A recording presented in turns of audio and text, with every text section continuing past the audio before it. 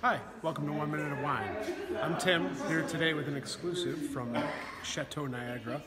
This is their a Riesling uh, made in a passamento style. That means that the grapes are slightly dried before they're pressed. It's a pretty common winemaking method in Italy for Amarone wines, but this is the first I've had in a white wine, especially a Riesling.